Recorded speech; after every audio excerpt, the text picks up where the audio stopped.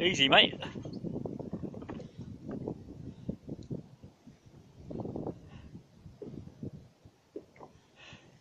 Ninety-five metres down is a long way when you're fishing, isn't it?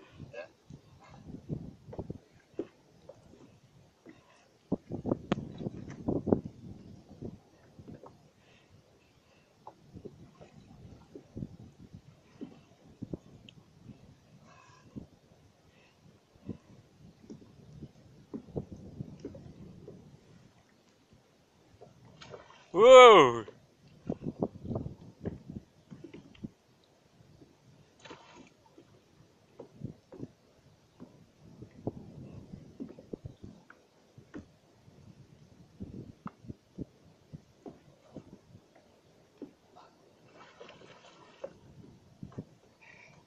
Well done, mate.